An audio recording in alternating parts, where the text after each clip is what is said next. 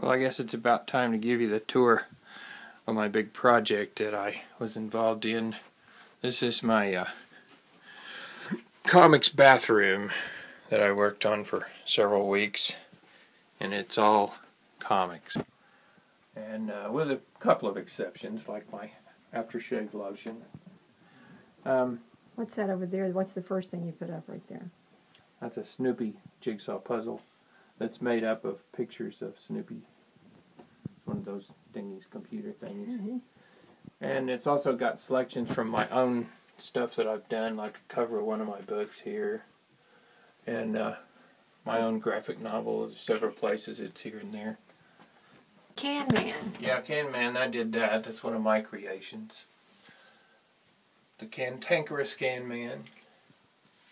And then above here you have Yeah, my Hammer of Thor and some collector's item figures.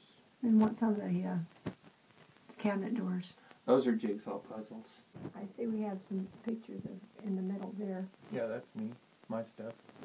From my uh, Invasion of the Sensors graphic novel. Okay. Yep, and some over here too. And here. Mm-hmm. And This is on the back of the bathroom door, Iron Man um, poster with several things pasted on top of it, and a poster for an old Superman movie, which is based on the comic book and the radio show. It shows you how old it is.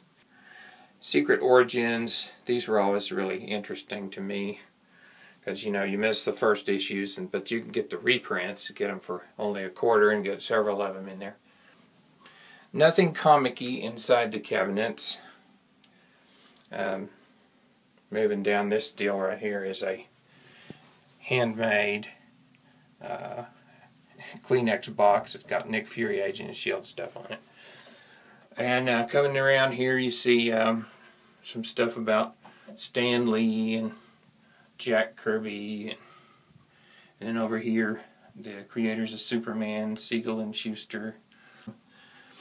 Um, anyway, I, I just put stuff that I like.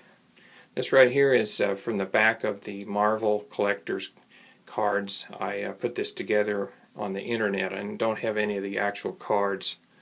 But I managed to make the puzzle complete anyway. There's some more recent stuff, that Turok thing. And uh, lots of Batman here. I'm a big, big Batman fan.